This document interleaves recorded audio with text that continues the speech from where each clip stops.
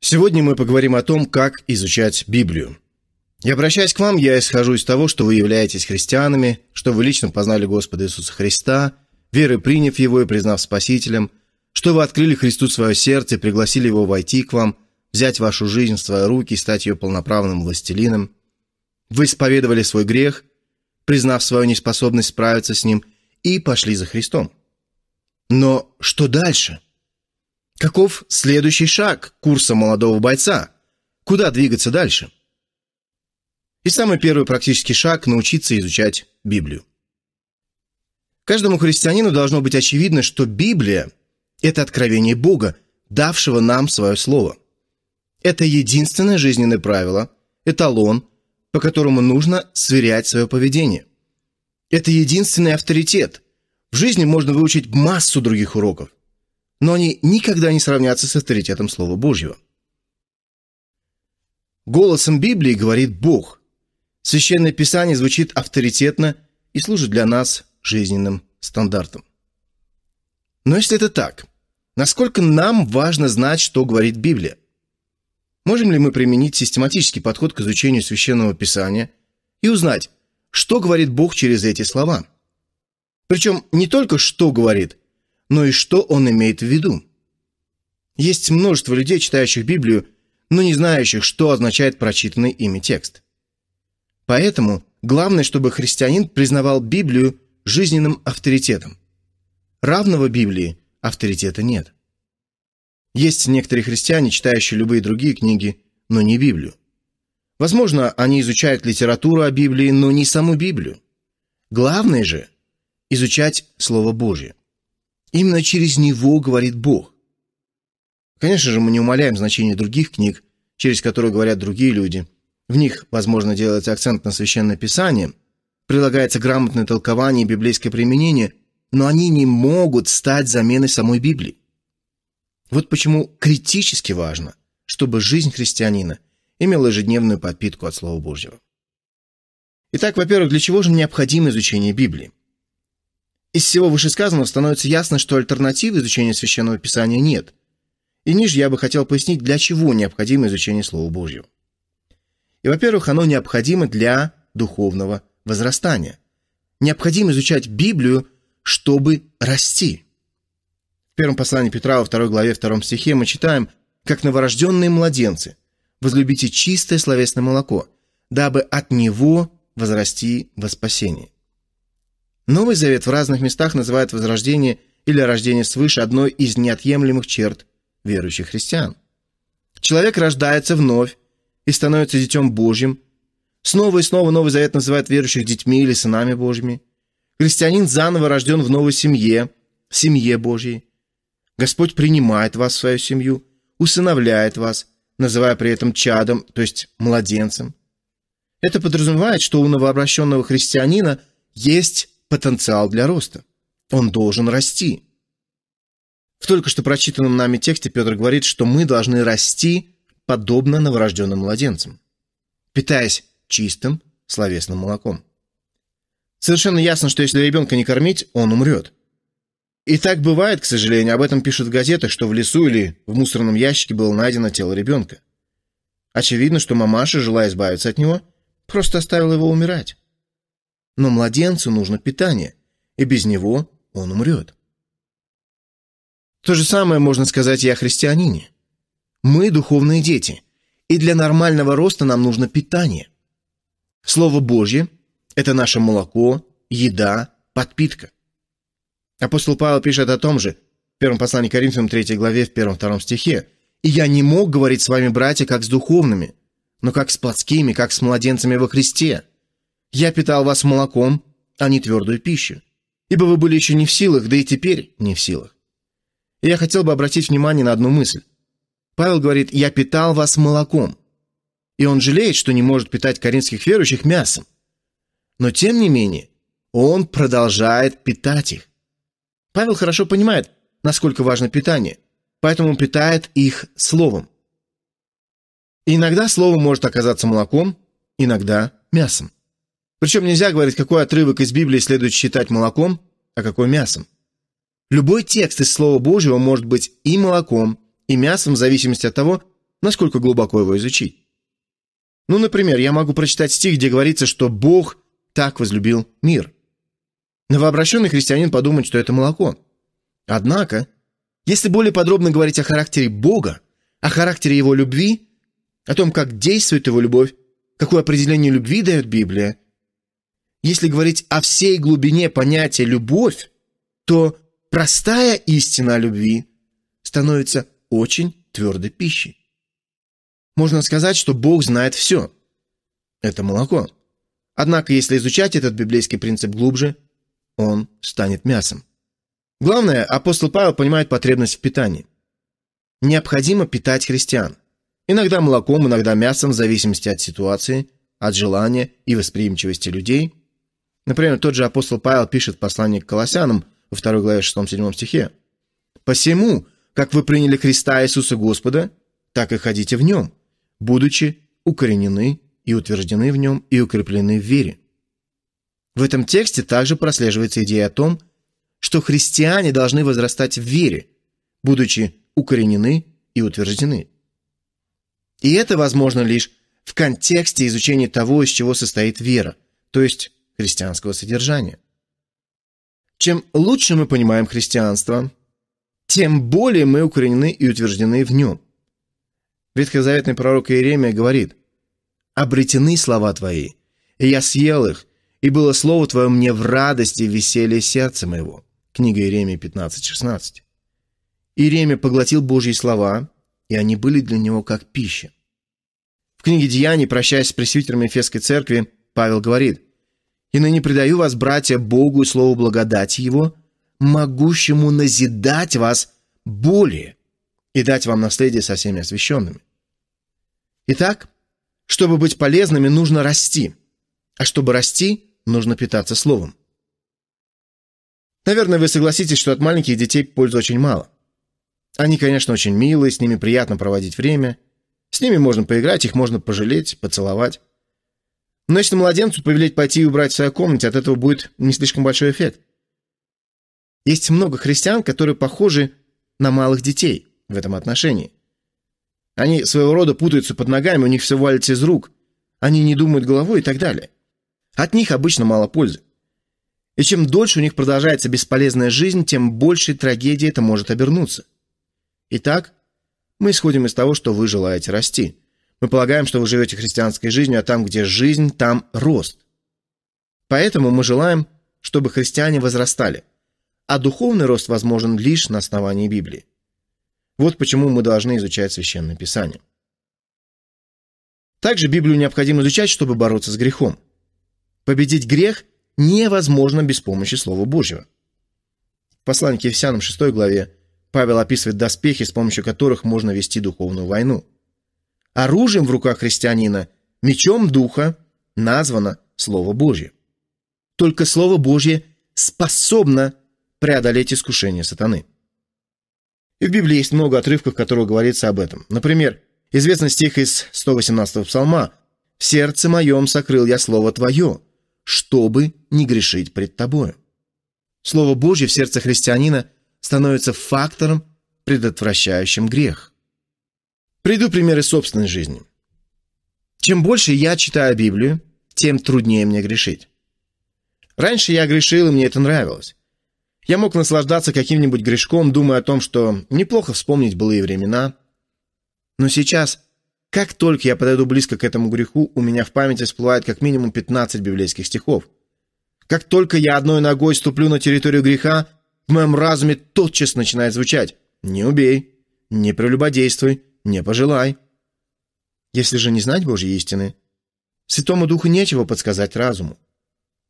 Итак, чтобы победить сатану, нужен меч Духа, который тем острее, чем лучше вы знаете Священное Писание. И знание библейских принципов становится прочным щитом против искушений. Псалмопевец в 118-м псалме в 9 стихе говорит «Как юноше содержать в чистоте путь свой? Хранением себя по слову твоему». Как можно исправить свою жизнь? Ко мне часто обращаются люди и говорят «Моя жизнь совершенно испорчена. Она похожа на мусорный ящик. Как ее очистить?» И вы знаете, ответ прост. хранить себя по Слову Божьему. Чтобы очистить свою жизнь, нужно выучить книгу книг. Знание Библии должно стать движущей силой вашего разума. В какой-то степени наш ум похож на компьютер. В информатике есть такой принцип – garbage in, garbage out. Это значит, что неверные данные на входе обязательно приведут к тому, что на выходе также будут неверные данные, даже при условии правильного алгоритма.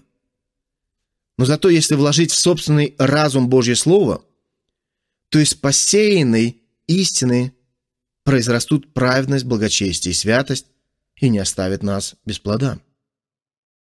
Обратите внимание на слова апостола Иоанна в первом послании Иоанна 2.14. «Я написал вам, отцы, потому что вы познали безначального. Я написал вам, юноши, потому что вы сильны, и Слово Божие пребывает в вас, и вы победили лукавого».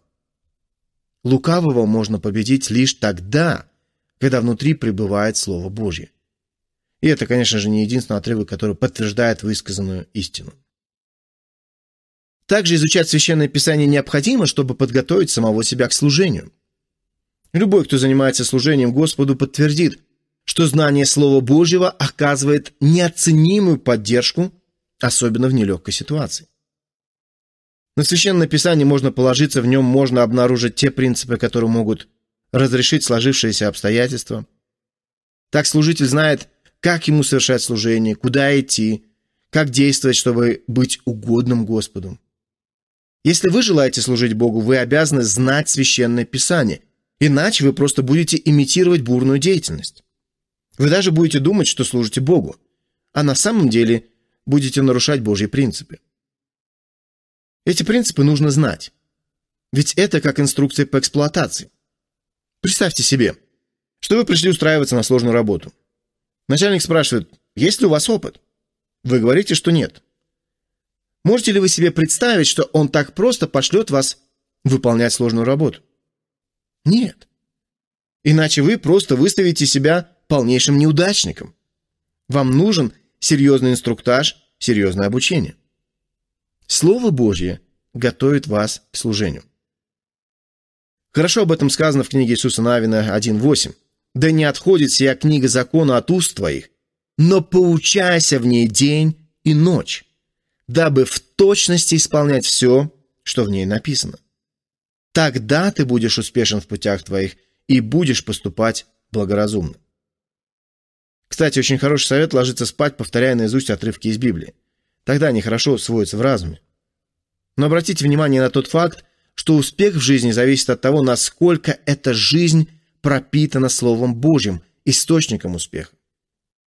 И далее Господь говорит Иисусу Навину, вот я повелеваю тебе, будь тверд и мужествен, не страшись и не ужасайся, ибо с тобою Господь Бог твой везде, куда не пойдешь. Итак, молодой человек начинает свое служение. Перед ним стоит невероятная задача. Ему предстоит совершить огромный труд. И Господь обращается к нему, говоря, «Иисус, ты справишься с задачей, если прибудешь в моем слове. Я укажу тебе путь, чтобы ты шел верной дорогой. Я покажу тебе свои дела. Я утешу тебя, когда тебе будет трудно. Держись моего слова, и будешь иметь успех. Для успешного христианского служения необходимо знать Слово Божье. Давайте прочитаем еще один текст из первого послания Тимофея 4.6. «Внушая сие братьям, будешь добрый служитель Иисуса Христа, питаемый словами веры и добрым учением, которому ты последовал». Откуда берутся добрые служители Иисуса Христа? И слово «служитель» означает «слуга». Хорошим слугой Иисуса Христа может стать брат, хорошо вскормленный в слове веры и здравого учения. Если вы хорошо знаете Слово Божье, из вас может получиться хороший служитель Божий. К сожалению, мы видим множество людей, которые желают послужить Господу, но просто не знают Библию в достаточной мере, чтобы быть добрым служителем, и в результате оказываются в очень неприятной ситуации. Также Священное Писание необходимо изучать, чтобы иметь благословение. Не знаю, как вы, но я бы предпочел быть счастливым, а не удрученным, радостным, а не несчастным. Я знаю, что чем больше я изучаю Слово Божье, тем более я счастлив, независимо от обстоятельств. Слово Божье благословляет меня, и я счастлив. Все очень практично. Если вам на пути встретятся несчастные люди, спросите у них, читали ли они сегодня Библию. Очень простой вопрос. Откуда я знаю, что чтение Библии делает человека счастливым? Давайте прочитаем первый псалом. «Блажен муж, который не ходит на совет нечестивых, и не стоит на пути грешных, и не сидит в собрании развратителей. Но в законе Господа воля его, и о законе его размышляет он день и ночь». Блажен муж значит счастливый человек. Счастлив тот, кто изучает Библию. Я много разговаривал с людьми, которые говорили мне, я в жизни ничего не знал, пока не стал изучать Библию. Тогда вся моя жизнь изменилась. Теперь я счастлив. И они совершенно правы. Именно об этом и говорит первый псалом. Об этом же говорит и книга Иисуса Навина, 1 глава 8-9 стихи, текст, который мы читали чуть ранее. «Если будешь пребывать в Божьем Слове и научаться в нем день и ночь, будешь успешен и счастлив». Изучать Библию также необходимо, чтобы помогать другим. Невозможно помочь другу в каких-то вопросах, если ты сам не разбираешься в этих вопросах. Бог никогда не благословлял невежество. Невежественный человек не способен помочь не только самому себе, но и другим. Ведь христианская жизнь состоит из взаимопомощи. Как можно помочь человеку, оказавшемуся в беде? Правильно показать ему Божий ответ на его проблему. Как можно ему показать Божий ответ? Найти его в Библии. Поэтому, если кому-то нужна помощь, крайне необходимо знать, что говорит Библия об этой проблеме, и тогда он сможет решить ее. Невозможно помочь человеку, не зная Слова Божьего. Вот почему во втором послании Тимофея 2.2 Павел говорит, «То передай верным людям, которые и других способны были бы научить». Единственный способ научить этим принципам других, единственный способ помочь другим людям – это самим выучить эти принципы. В первом послании Петра 3.15 записано «Господа Бога светите в сердцах ваших.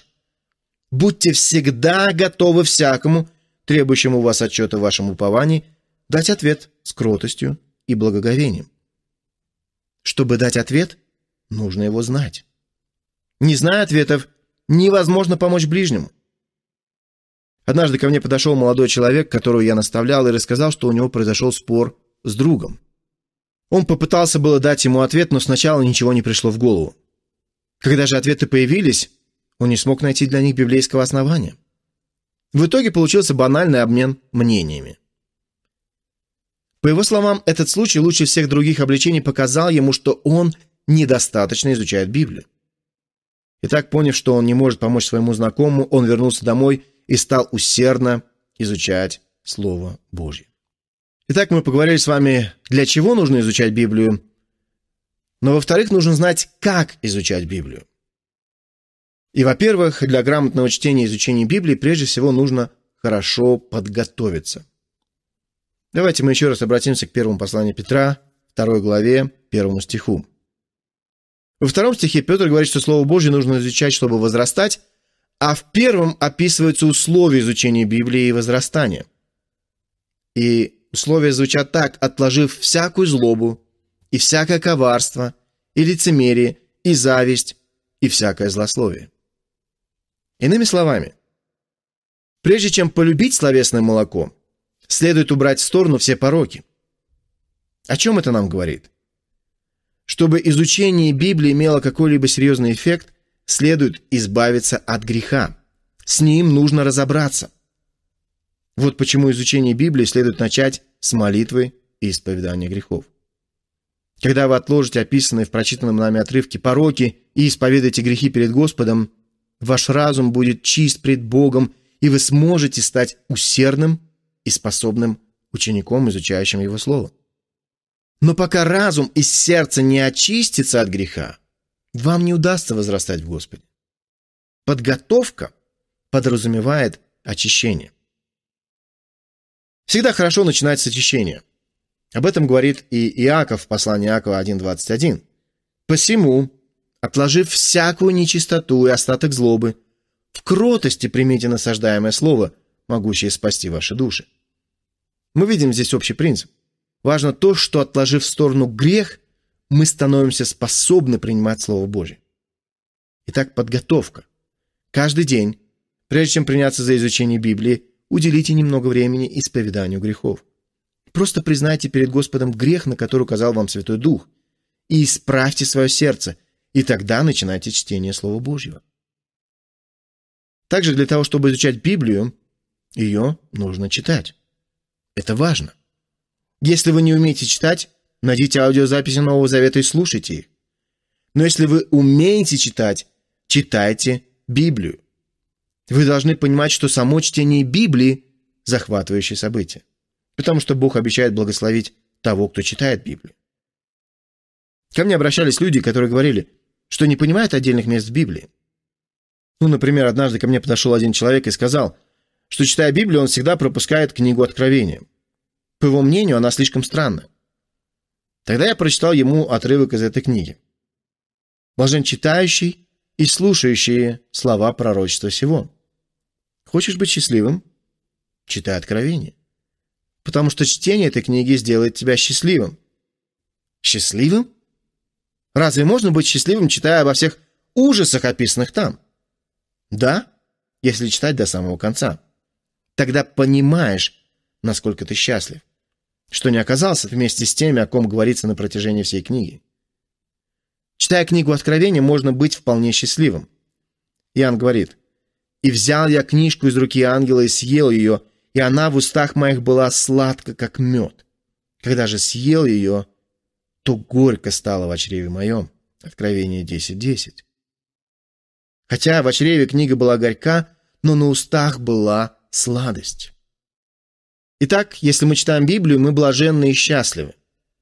Поэтому так важно читать Писание. Наставляя Тимофея о том, как проповедовать Слово Божье, Павел постоянно напоминает о том, что его нужно читать. И мы должны поступать так же. Мы должны ежедневно уделять время чтению Библии. И сейчас мы поговорим о том, как читать Слово Божие. Я предложу вам практический план, который вы также можете найти в книге «Найдена Божья воля». В время этот план сильно помог мне самому. Было время, когда мне с трудом давалось чтение Библии. Бывало, что я прочитаю отрывок, а на следующий день совершенно ничего не помню. И знаете, так каждый день. Я мог прочесть целую книгу из Библии, потом закрывал Библию и ничего не помнил из этой книги. И эта история повторялась на следующий день. Так я накапливал свое огромное невежество и проводил в нем невероятное количество времени.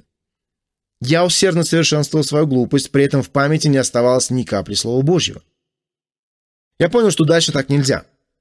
Тогда мне в руки попала книга Джеймса Грея «Как в совершенстве изучать Библию на английском языке».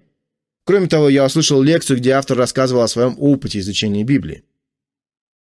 Так у меня стала складываться картинка, и я понял, что лучший способ что-то выучить – повторение. Именно об этом говорил пророк Исаия в книге Исаия 28 главе 10 стихе – ибо все заповедь на заповедь, заповедь на заповедь, правило на правило, правило на правило, тут немного и там немного. Так я понял, что повторение – мать учения. И всякий раз во время учебы в семинаре я не просто брал конспект перед экзаменом, прочитывал материал один раз, а перечитывал и штудировал каждый урок снова и снова. Впрочем, вы сами знаете, как готовиться к экзамену. Готовиться к любому экзамену или тесту нужно, повторяя пройденный материал. С помощью повторения вы формируете некие формулы запоминания. Мозг создает особые сигналы и ключи для запоминания. Повторение помогает запомнить изучаемый материал. Когда я понял это, я начал думать, что, наверное, наилучший способ читать Библию – читать ее с помощью повторения. Я решил начать с первого послания Иоанна. И у меня получилось.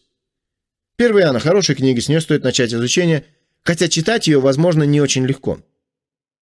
Это послание, будучи простым по форме, содержит в себе серьезные и глубокие вопросы. После очередного прочтения первого послания Иоанна всякий раз находишь в нем твердую пищу, и чем больше читаешь, тем больше сможешь переварить. Итак, берем 1 Иоанна и прочитываем всю книгу за один присест. Вам понадобится не больше 20-25 минут. Это всего лишь 5 глав. Здесь нет ничего сверхсложного. Просто прочтите всю книгу от начала до конца.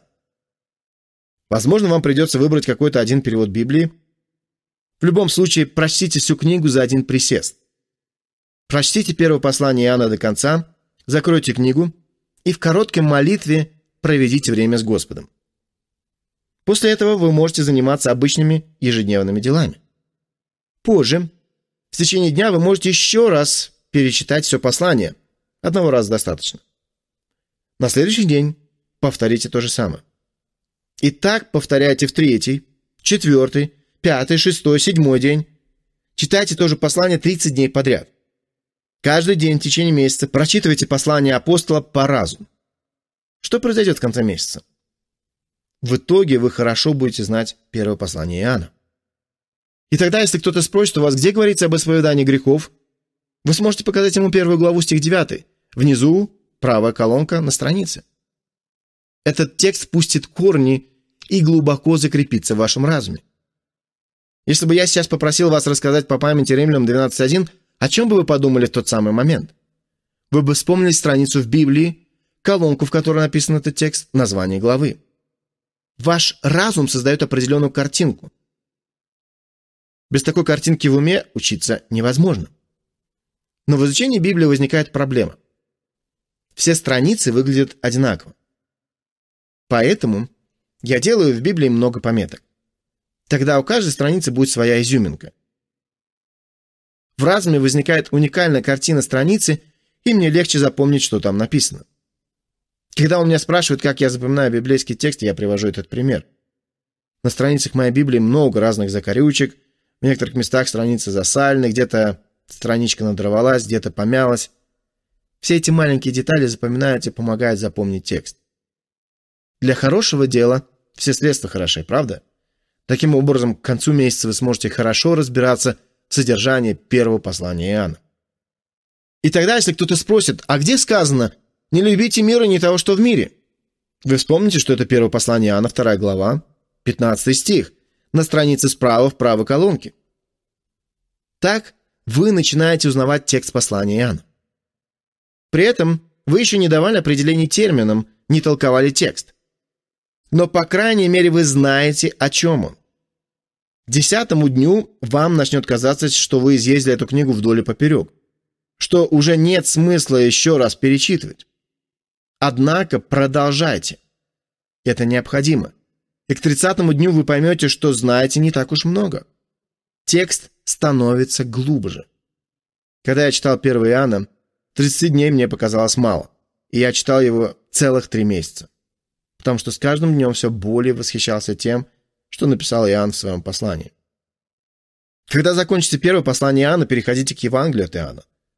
Вам может показаться, что Евангелие и послание Иоанна невозможно даже рядом поставить, ведь в Евангелии не 5, а целая 21 глава. Вы можете сказать, что на чтение всего Евангелия у вас не будет времени. Я понимаю.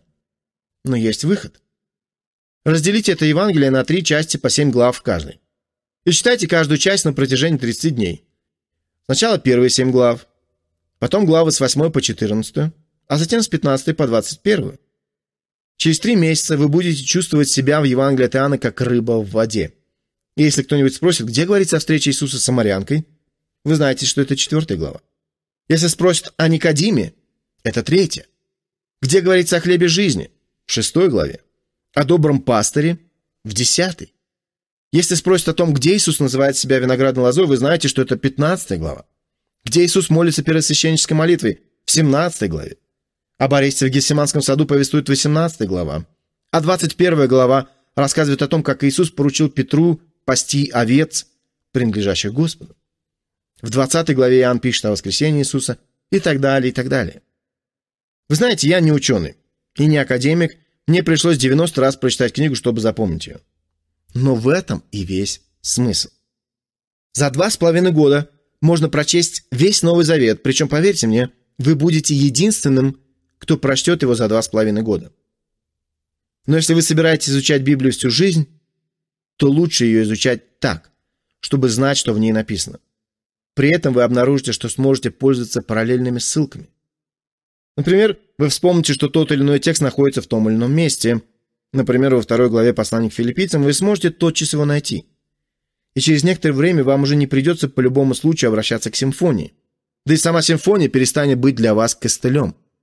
Ведь крайне неприятно, когда кто-то задает вам вопрос, и вы не знаете, где находится этот текст, обещаете посмотреть слово в симфонии, а потом даже не можете найти это слово.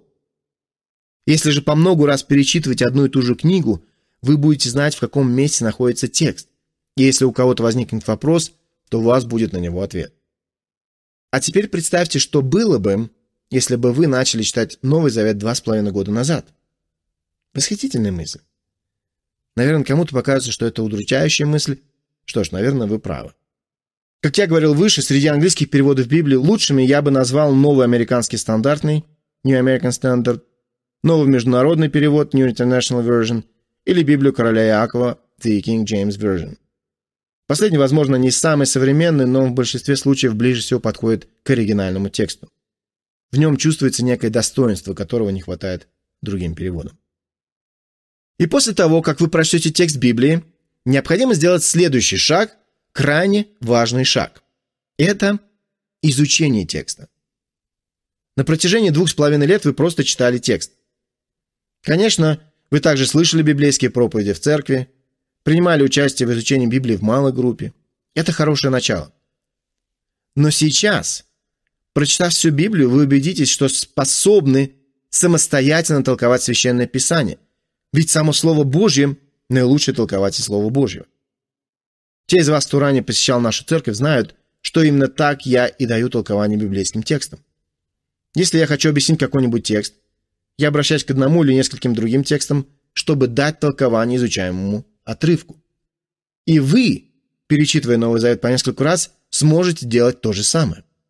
С Ветхим Заветом следует поступать несколько по-другому. Здесь не нужно читать каждую книгу по несколько раз. Прочтите весь Ветхий Завет от начала до конца, а потом вновь начните с книги Бытия. И так повторяйте всю жизнь. Не пытайтесь читать Ветхий Завет через многократное чтение одной и той же книги. Ветхий Завет – это по большей части повествование и история, поэтому его лучше читать целиком. Итак, вы прошли всю Библию. Теперь можно приступать к ее изучению. Как изучать Священное Писание? Могу предложить одну идею. Изучайте его тематически. Например, вы можете изучить все молитвы, приведенные в Библии. Это будет захватывающее изучение. Оно может занять у вас очень много времени. Начните с книги «Бытия» и двигайтесь дальше, останавливаясь там, где приводится чья-либо молитва. Изучите, кто молился, что он говорил в молитве? О чем молился? Как Бог ответил на эту молитву? Результаты изучения ошеломят вас. Или же вы можете заинтересоваться и изучить молитву апостола Павла. Просто изумительное изучение. Выбирайте любую тему, можно изучить тему прощения. В крестьянском книжном магазине можно приобрести тематический указатель, в нем указаны все тексты из Библии, в которых говорится о прощении. Вы можете рассмотреть все предложенные тексты и сделать свои выводы. Результаты здесь не оставят вас равнодушными. В этом вам могут помочь книги. Я предложил бы вам записать название этих книг, чтобы потом обратиться к ним для помощи в изучении Библии. Например, вы можете изучить тему Божьего суда в книге пророка Исаи. Прочитав все тексты в этой книге, говорящие о суде, вы можете сделать вывод, почему Бог вершит суд, как Он судит, и как мы должны поступать, зная это. Еще один метод изучения Библии биографический. Возьмите какой-либо библейский персонаж, например, Илию, и изучите все места, где Библия говорит об Илии. Изучение жизни Давида приведет вас в восторг. Таким же образом можно изучить и жизнь Иосифа. С другой стороны, можно изучить жизнь Ахитофела или подобных ему персонажей, о которых мало говорится в Ветхом Завете. Попробуйте изучить все, что написано о таком персонаже в Священном Писании.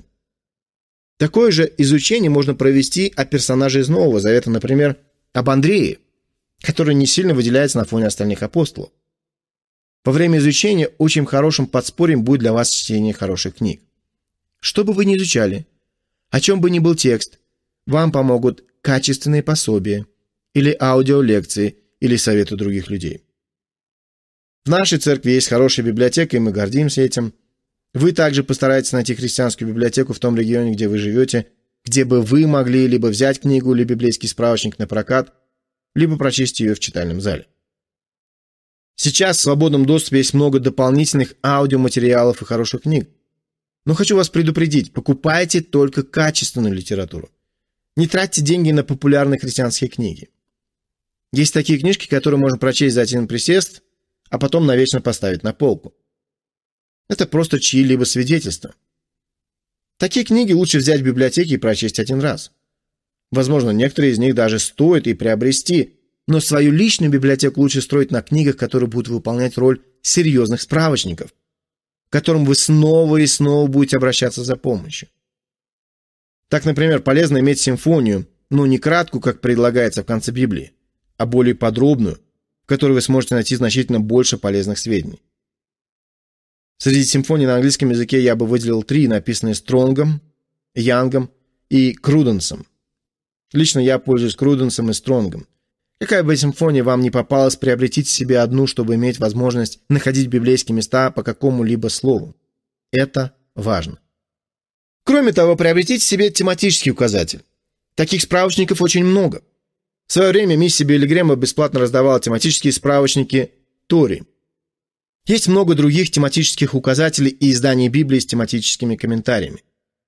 Тематический указатель – это книга, где предлагаются ссылки на все библейские тексты на определенную тему. Поэтому всякий раз, когда вы захотите изучить какую-либо тему, тематический указатель поможет вам найти соответствующие отрывки. Очень полезный инструмент в изучении Библии. Комментарии. Это еще один инструмент, который я бы хотел предложить вам для изучения Библии. Что такое комментарий? Это книга, в которой дается объяснение библейских текстов. В книжных магазинах есть много библейских комментариев, и сейчас я бы хотел подсказать, пожалуй, самый простой комментарий, который лучше всего подойдет новообращенному христианину. Это библейский комментарий служения Уиклиф. Это небольшая книга, и в ней вы сможете найти объяснение отдельных отрывков, который поможет вам лучше изучить текст Слова Божьего.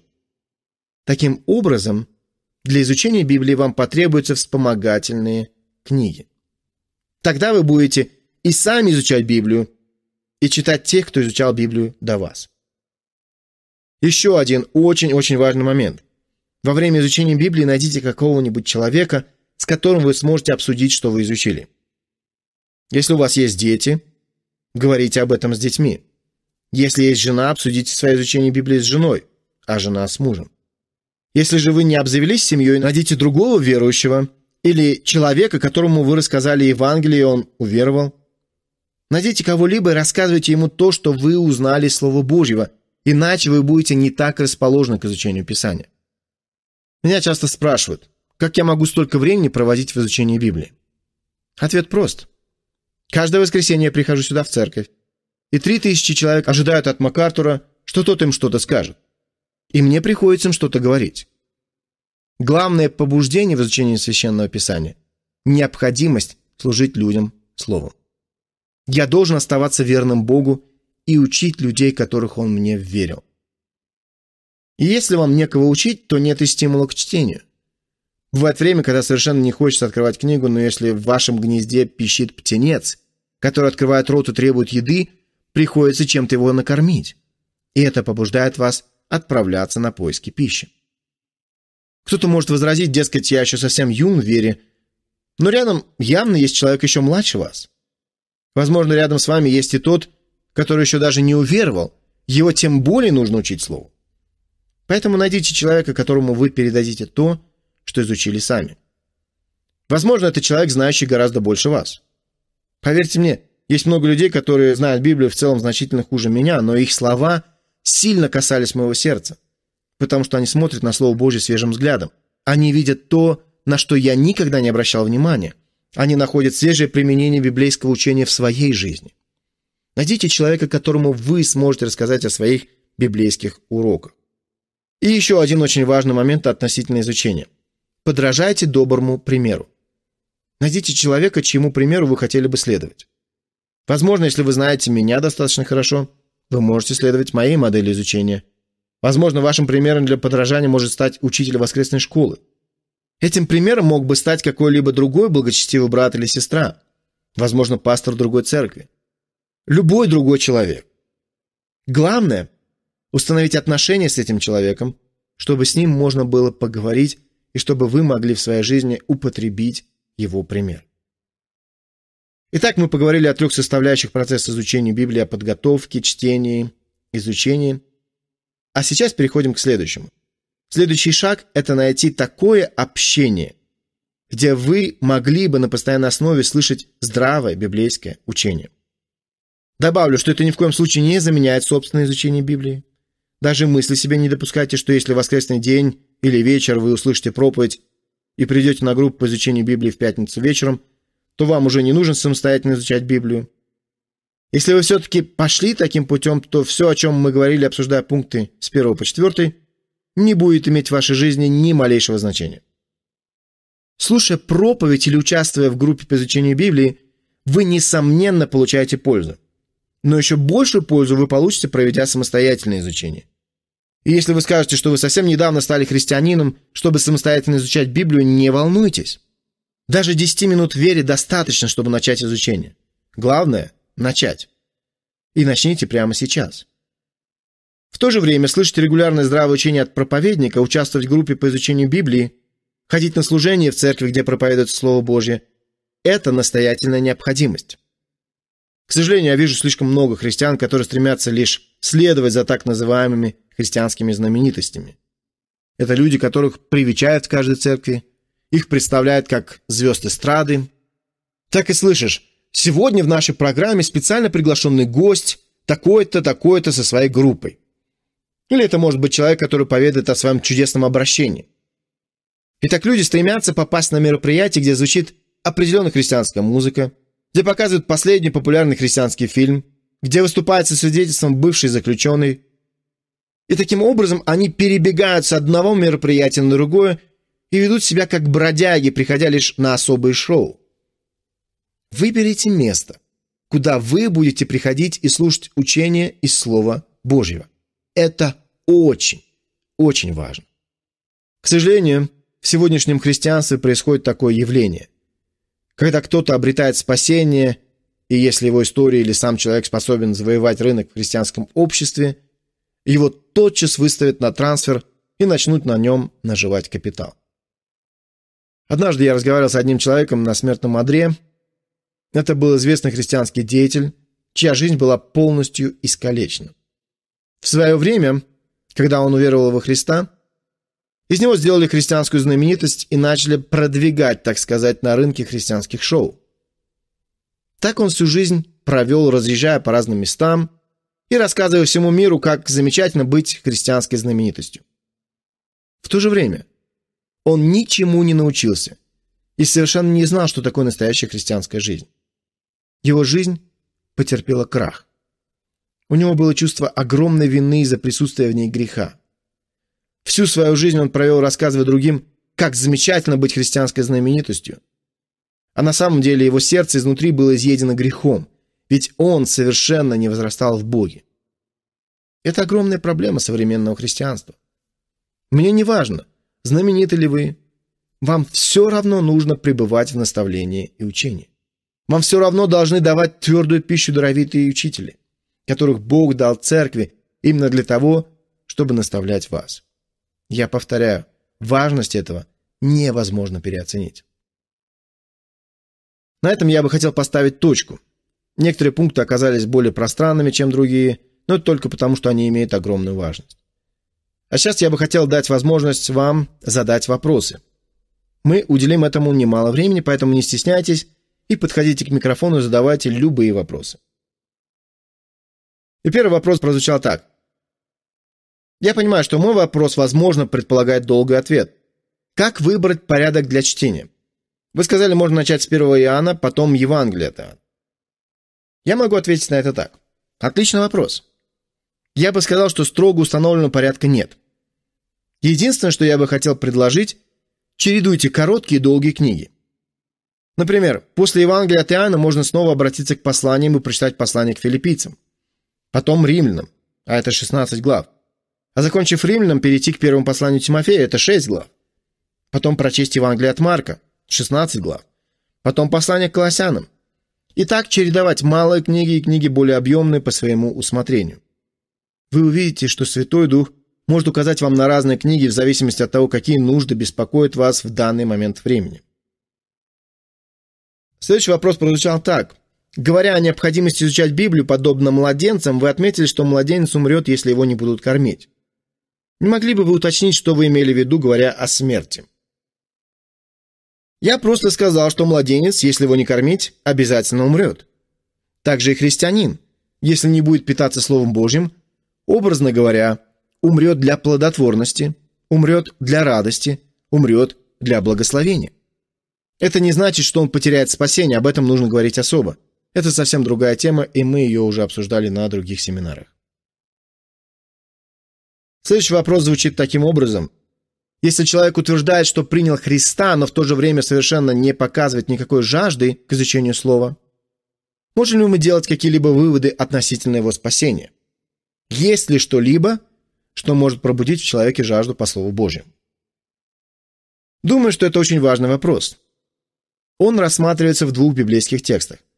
Первый из них находится в Евангелии от Иоанна 8 главе 31 стихе, когда к Иисусу подошли иудеи, которые называли себя верующими. Иисус сказал им, «Если прибудете в Слове Моем, то вы истинно мои ученики». Истинного христианина можно распознать по его стремлению к Слову Божьему. Это стремление может быть разным. Среди новообращенных могут быть люди, чье желание изучать Библию достаточно слабое. Чаще всего так бывает по вине церкви, которую они посещают, или христианского круга общения, а именно людей, с которыми они проводят много времени. Часто в этих кругах Слово Божие не акцентируется, да они и не понимают, что это значит.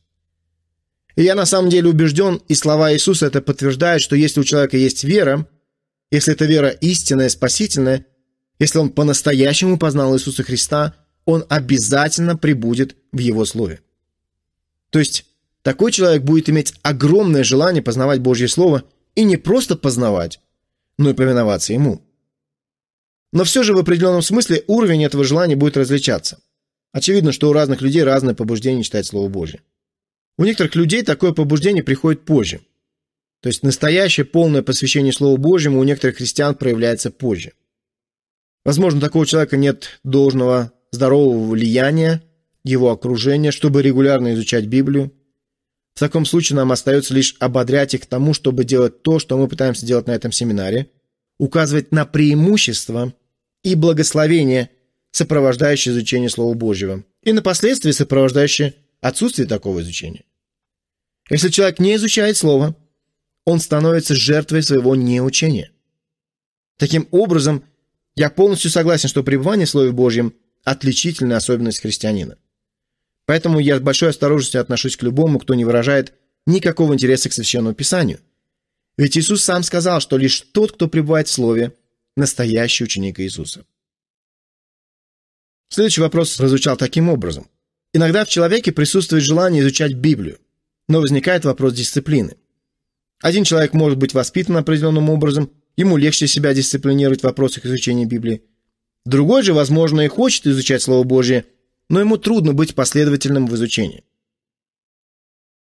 На этот вопрос у меня два ответа.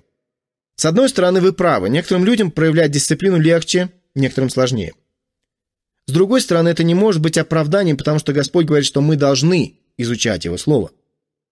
Знаете ли, я встречался с недостаточно дисциплинированными и рассеянными людьми, которые много и усердно изучают Библию.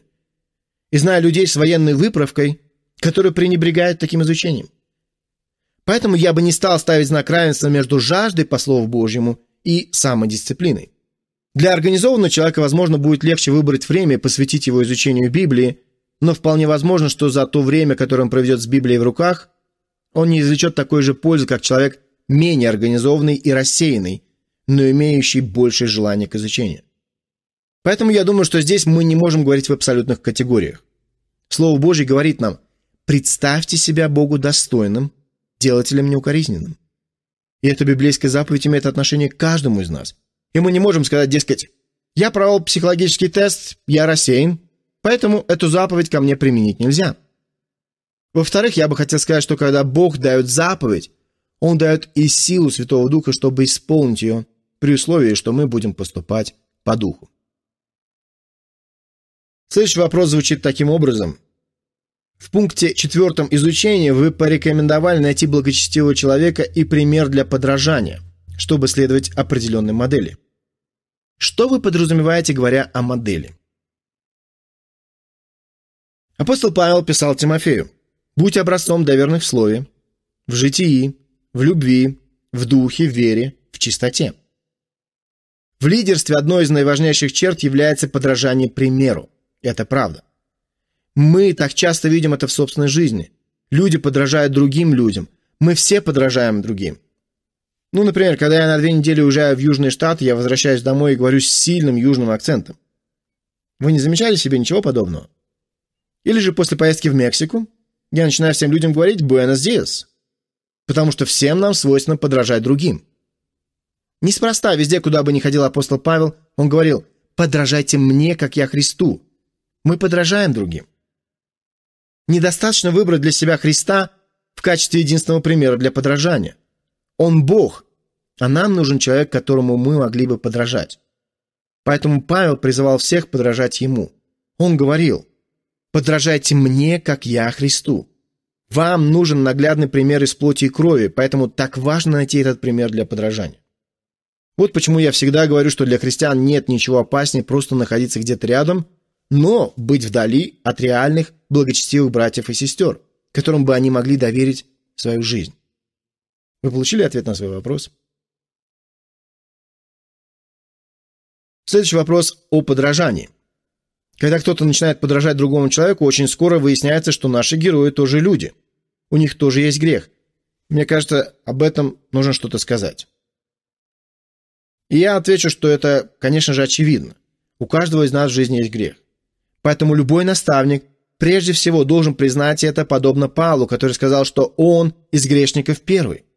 Поэтому нужно с самого начала признать это, не нужно ждать, пока это обнаружит ученик. Второе, что необходимо отметить.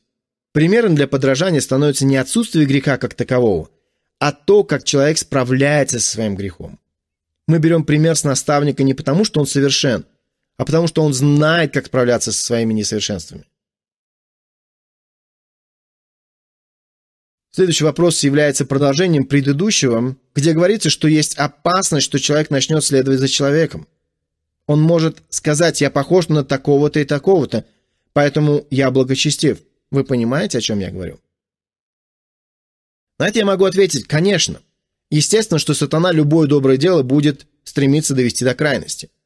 Он будет стремиться к тому, чтобы вы стали похожи на попугая, повторяя то же самое, что ему говорят. Но ведь я говорю не об этом. И вы это понимаете, правда? Мы подражаем человеку настолько, насколько подражание ему будет означать подражание Христу. И об этом никогда нельзя забывать.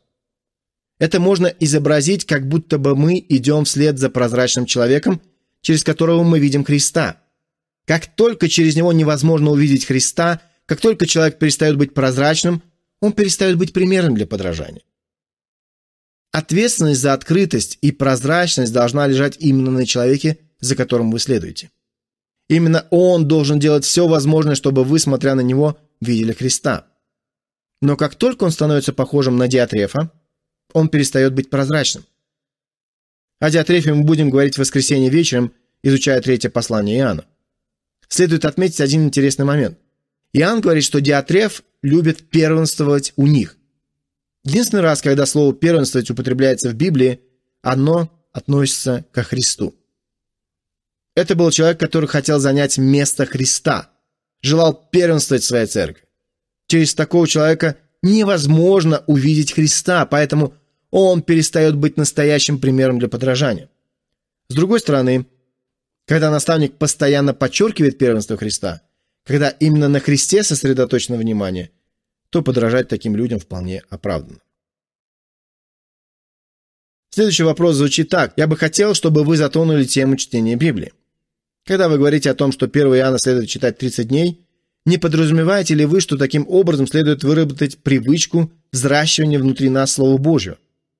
И можете ли вы немного рассказать о привычках и о том, как их вырабатывать? Что такое привычка?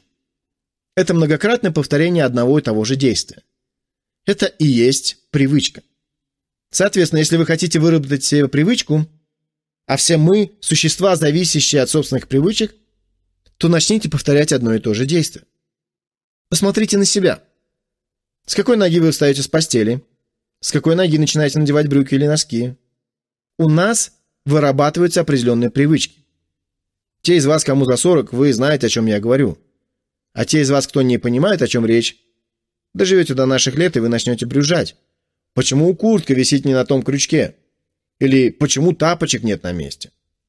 Вроде бы проблема и выеденного яйца не стоит, но так все равно происходит. Почему? Потому что мы люди привычек. Поэтому лучше всего обзавестись достойными привычками, когда вы еще молоды, чтобы ежедневные привычки помогали вам в последовательном изучении Библии, и чтобы вы не говорили «Я читаю там, куда меня дух поведет. Сегодня я там, а завтра здесь». Мы видим привычки в жизни Христа.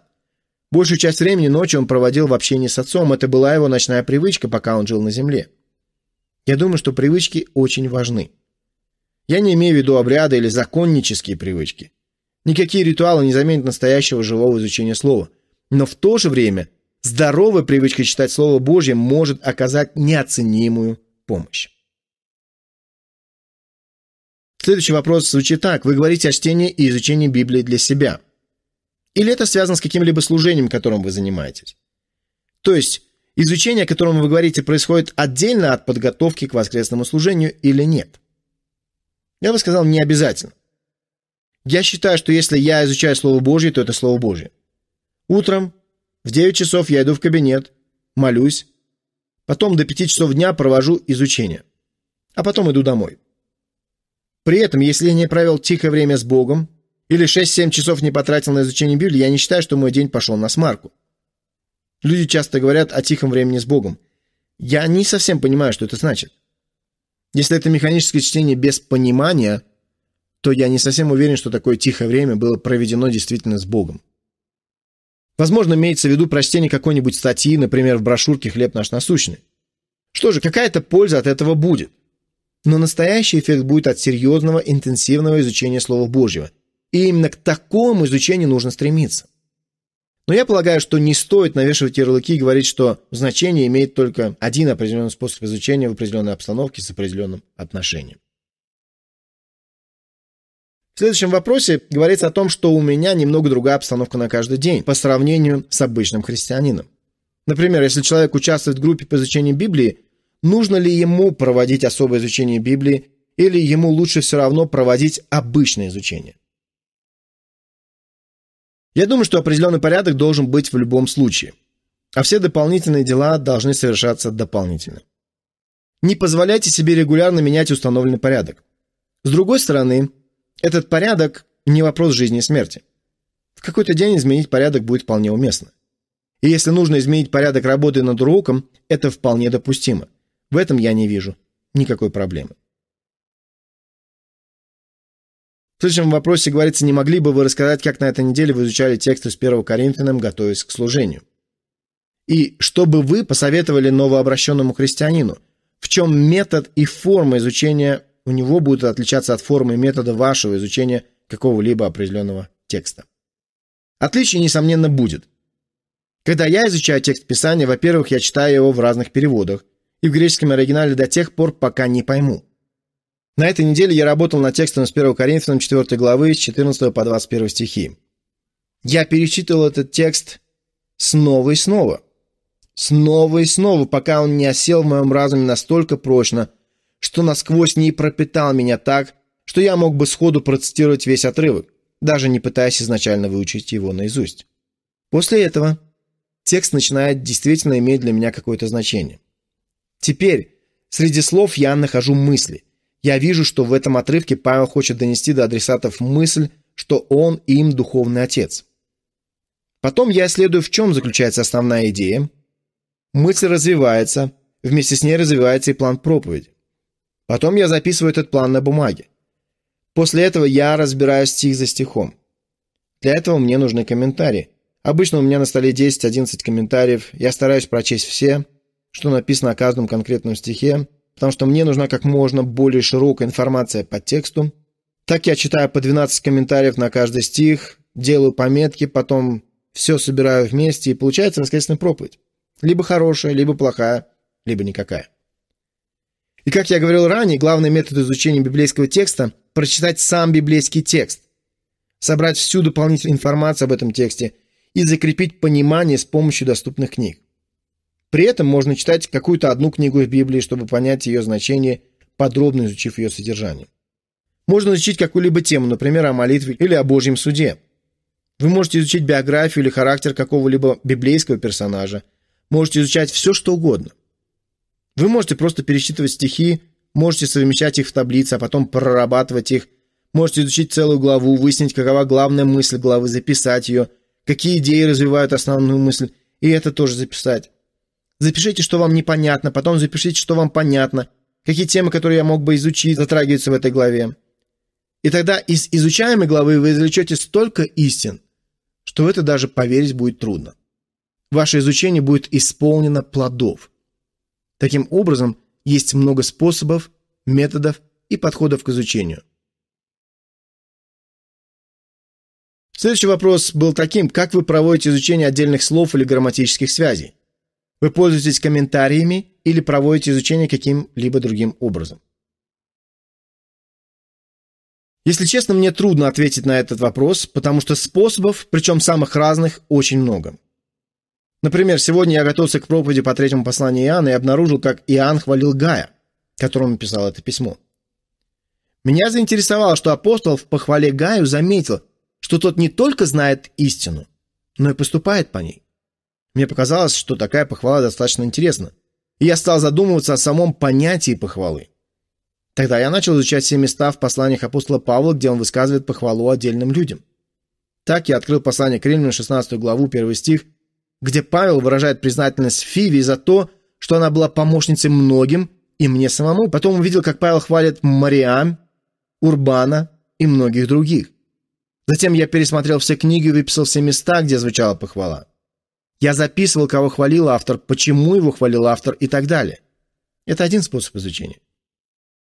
Другой раз, когда я писал дипломную работу по третьему посланию Иоанна, я решил провести грамматическое исследование одной греческой фразы. Я выписал ее, изучил содержание на греческом языке, прочитал комментарий Весткота на греческий текст и узнал, что, по мнению Весткота, означает этот текст. Это еще один способ изучения. Иногда я провожу изучение самостоятельно. Однажды я решил изучить греческое слово «хупа ламбана», поэтому я обратился к имеющемуся у меня греческому тексту, к лексикону, потом взял то, что называется греческая симфония для англоговорящих, и провел самостоятельное исследование этого слова. Итак, способов и методов может быть целое множество. Впрочем, у меня их, наверное, больше, потому что я провожу изучение сразу несколькими методами, а единственного правильного просто не существует. Следующий вопрос звучит так. Что делать, когда встаешь утром, занимаешься обычными ежедневными делами и совсем не хочется читать Библию? Просто не читаешь ее, правильно? А если серьезно, то именно в тот момент, когда меньше всего хочется читать Библию, она больше всего нужна. Если вы глубоко усвоите эту мысль, она окажет вам неоценимую помощь.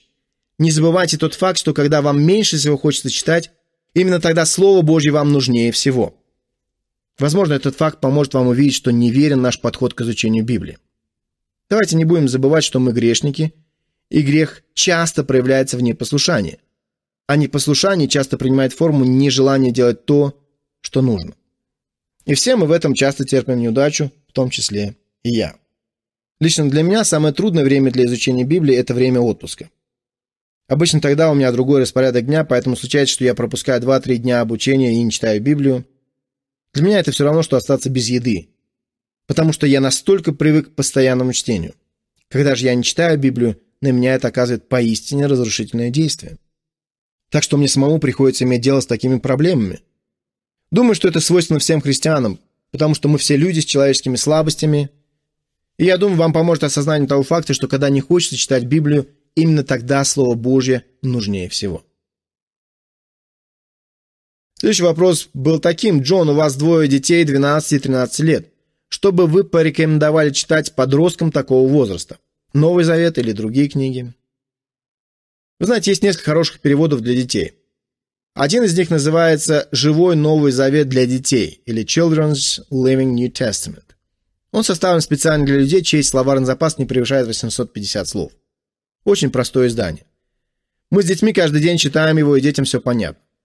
Это издание Нового Завета, но Ветхий Завет также хорошо подойдет детям. Перевод The Living Bible, Живая Библия, я бы назвал наилучшим переводом Ветхого Завета для детей. Я ответил на ваш вопрос.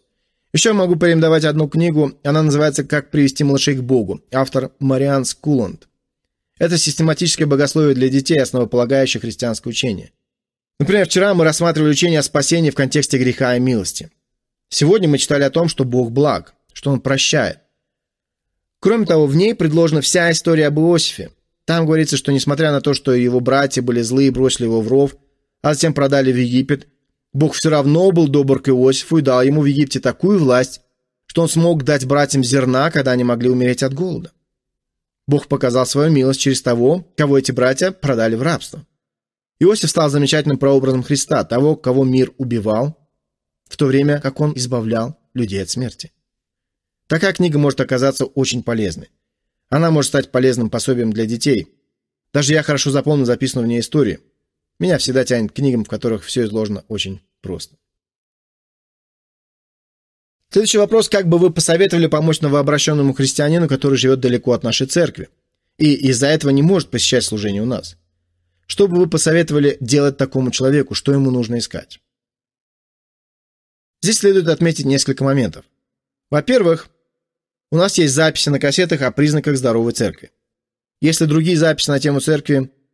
Есть другие записи на тему церкви и о том, какими принципами следует руководствоваться при поиске церкви. Поэтому первый совет – пошлите им записи. Кроме того, сами говорите им о принципах, чтобы они знали, что искать, когда зададутся вопросами о церкви. Шлите им книги, другие записи, чтобы их вера утверждалась, чтобы они могли сами судить о том, в какую церковь пойти. Это очень практический вопрос. Человек приходит ко Христу в том месте, где он постоянно не проживает, и при этом он не знает, в какую церковь ходить. Такой человек потом приходит в церковь, куда его приглашает знакомый, и потом оказывается, что в этой церкви непонятное учение. В итоге новообращенный христианин совершенно не растет и не взрослеет. Очень важно выбрать здоровую церковь. Кроме того, один из способов помогать новообращенным расти – предлагать им книги и аудиозаписи, благодаря которым они укрепятся и смогут сами трезво оценить, в какую церковь идти. И я знаю, что многие члены нашей церкви так и поступают. Каждое воскресенье меня просят подсказать хорошую церковь в каком-нибудь другом городе. Дело в том, что я не всегда знаю, какие церкви в каких городах, поэтому я всегда рекомендую прислать знакомым, ищущим церковь, записи и книги, чтобы они могли сами узнать, на каких основаниях должна строиться церковь и по каким критериям ее нужно выбирать. Кстати, есть одна книга, которая рисует простую и ясную библейскую картину церкви. Прочитав ее, человек, ищущий церковь, сможет трезво оценить церковь, в которую они хотели бы ходить, и далее следовать водительству Святого Духа. Следующий вопрос звучит так. Как вы думаете, не опасно ли сделать слишком большой акцент на справочниках и симфониях? Не приведет ли это к тому, что сократится время, когда после изучения текста Святой Дух будет говорить с человеком наедине и даст ему понять, что означает этот текст? Во всяком случае, в моей жизни, как только у меня появились первые справочники и комментарии после прочтения библейского стиха, я тут же стал обращаться к ним, и мне кажется, что это мешает. Отвечая на этот вопрос, я замечу, что вы не сможете точно знать, что Святой Дух говорит лично вам, пока не узнаете, что говорит Святой Дух вообще. Ведь Святой Дух не будет говорить вам нечто отличное от того, что Он говорит в другом месте. Понимаете, что я имею в виду? Бывает, что кто-то с восторгом говорит, как чудесно, сегодня этот текст сказал мне что-то. Если честно, то мне безразлично, что он говорит вам. Мне интересно, что говорит этот текст. И точка.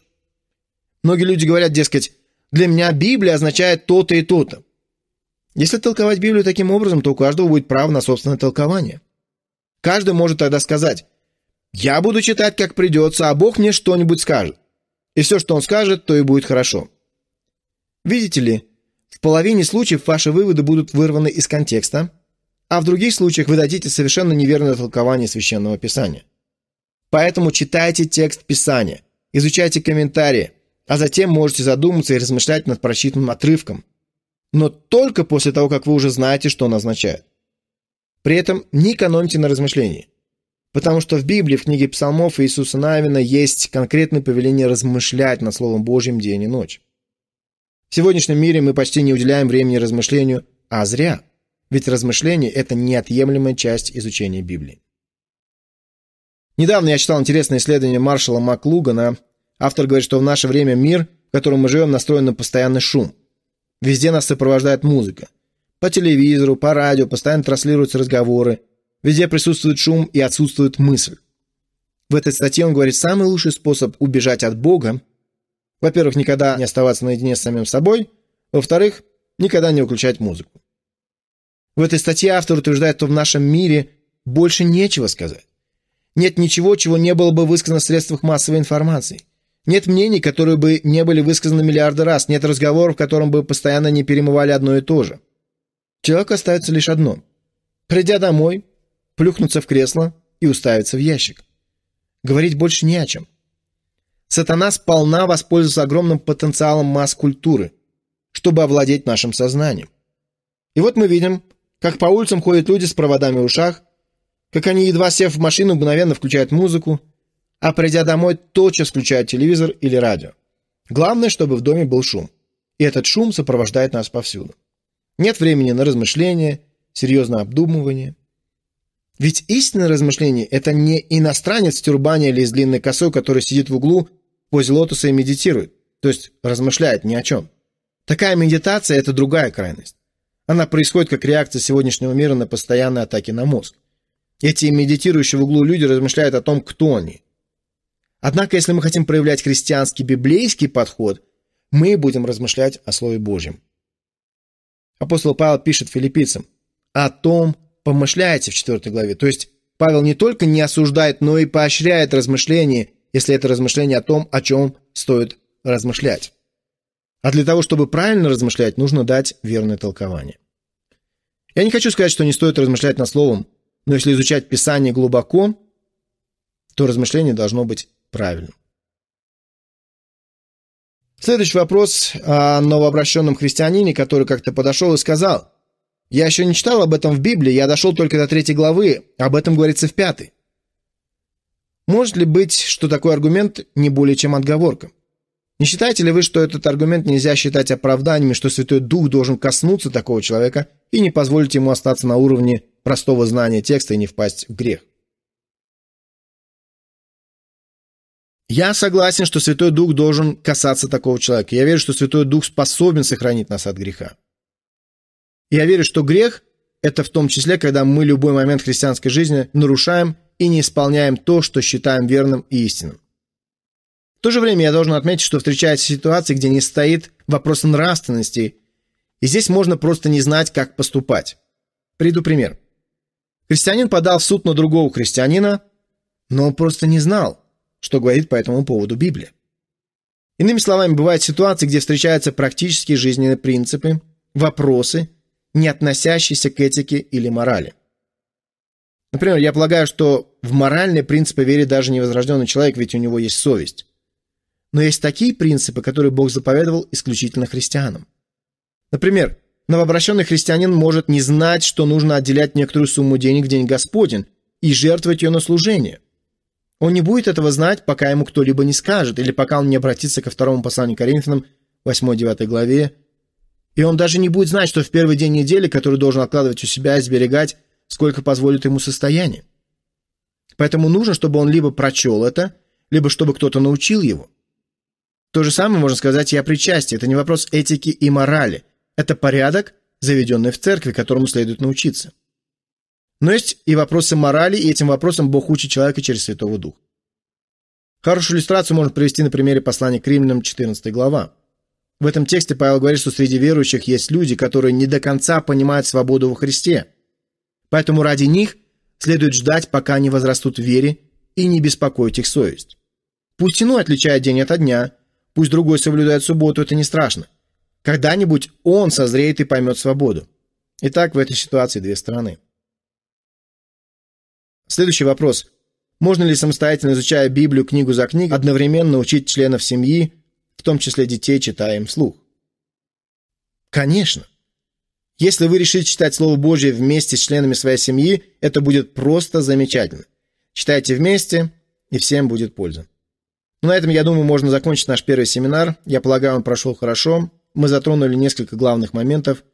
И наш семинар был полезен не только вам, но и другим верующим, в том числе, которые прослушают его в записи.